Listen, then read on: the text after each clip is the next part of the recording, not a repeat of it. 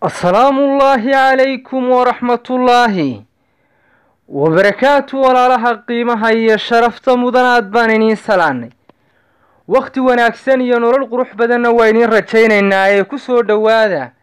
Kanaalkeennan caafimaadka ee dhegtarka caafimaadka qoyska iyo kilibkan oynu maanta ku soo qaadanayno.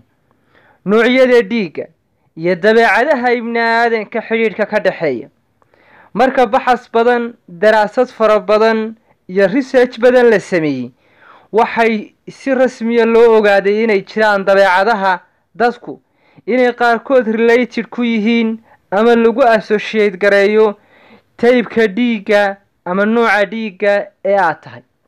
Kama hadlayno dhinaca scientifically xanuunada uu nugul yahay dhiiggaagu difaaca iyo xanuunada iska difaacayso taa scientifically dhiigga iyo qofka caafimaadkiisa mar kale aynu ka hadlaynaa maanta waa dabeecadda ku hareeraysan qofka.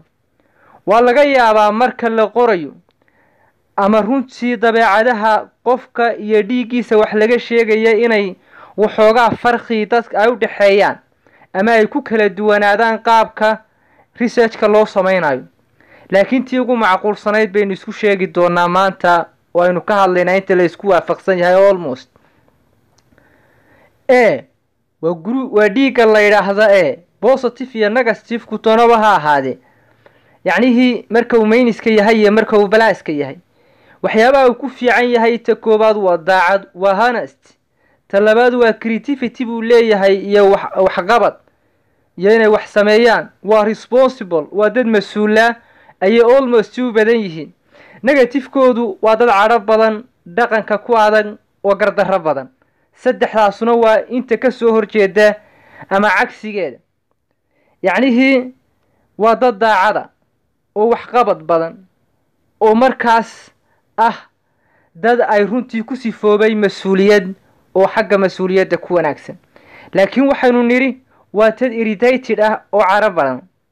Isla markaa waa waa conservative oo waxay xagga dhaqanka ayay markaas ku adag yihiin oo waa traditionistis oo xagga dhaqanka ayay ku adag yihiin. Waa aggressive oo way marka la eegayo dhiigaga kale waa dad waxoogaa faduuliyiina ama gardarro badan. Intaasu waa saddexda iyo saddexda saddexda ay ku fiican yihiin iyo saddexda ay markaas xilliyada qaar weaknesskooda ama weak pointigooda. Taas ayaynu runtii isxasuusinaynaa aynu u nimaano groupka labaad ee la yidhaahdo group b ama dhiigga layaha dhiiga b-da waxaynu nidhi yacnihii wuxuu noqon karaa b positive iyo b negative. Waxyaabaha uu ku wacan yahay b-du waxaa ka mid a inuu yahay bolite dad naxariis badan oo raxmad badan oo baariyiina inay yihiin farsayter dad inta badan meel fog wax ka eega oo farsaytera inay yihiin dad interpresanisa oo hal abuur iyo waxqabad iyo wax soo saar leh. Waxyaabaha ay ku liidaan waxaa ka mid a waa selfish waa danaystayaan active ma aha aada active ma aha. Inta badan dadka ma aaminaan oo waa suspicious ama waa distrustful oo dadka aada uma aaminaan. Taasina waa dabeecadaha uu leeyahay dhiigga la yidhaahdo b. Ha noqdo b minus ama ha noqdo p plus. Ku doonaba ha ahaado laakiin almost marka la eegay dabeecadahaas ayaa hoos timaada oo ay wada wadaagaan oo ay sheer gareeyaan. Inta badan dhiiggaasu waxa uu ka tirsan yahay dhiigaga dhiiggu guud ahaan qofka dhiigga ku jira almost way aad bay iskugu dhadhow yihiin. Xagga dabeecadka iyo xagga difaaca laakiin waxay ku kala duwanaanayaan dhinaca caafimaadka. Waxay kale oo dhiigga saameyn ku leh qofku bayaada uu ku nool yahay deegaanka uu ka soo jeedo iyo cuntada uu isticmaalo.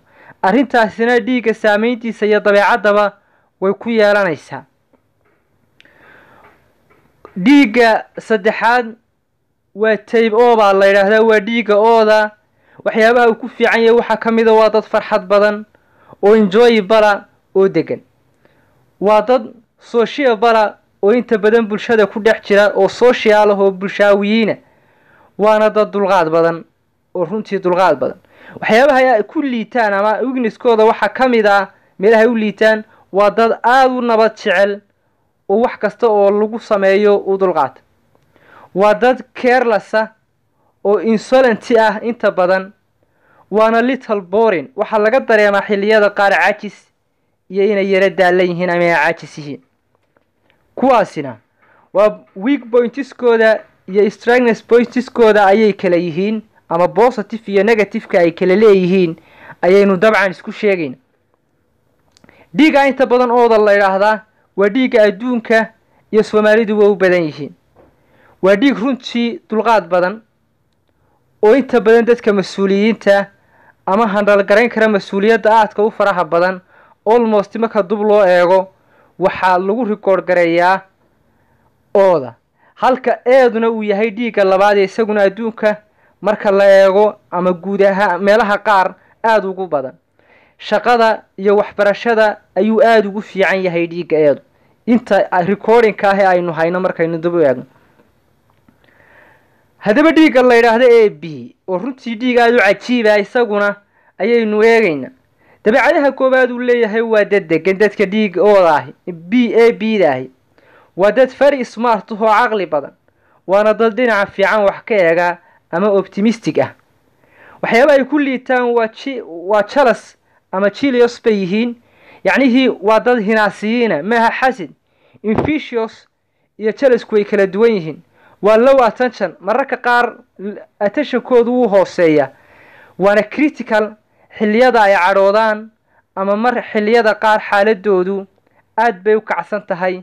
Waa dad dhib badan ama aan ismara oo marka ay cadho iyo wax ku dhacaan xaaladoodu ay runtii meel qadhaar gaadho. Almost dadku hadday qofku hadduu degan yahay inta badan uu yahay qof aad aan dhib lahayn marka uu cadhoodo xaaladiisu critical bay noqotaa oo waxaa laga yaabaa meel fog iyo dhibaato culus inuu geysto. Marka waa dabeecad almost dadka lagu yaqaano dhiigaas la yidhaahdo a b na wanaagyadaas buu leeyahay waxoogaagaa weak pointiskana wuu leeyahay. Dabcan waxaynu ka afeefanay inay kala duwanaan karaan. Baxaska laga sameeyo xilliyada qaar laakiin intani waa inta ugu komasan ee almost dhakhaatiirta iyo baxaska badan la soo qaado. Intaas ayaynu ku soo ururinaynaa oo ku soo koobaynaa.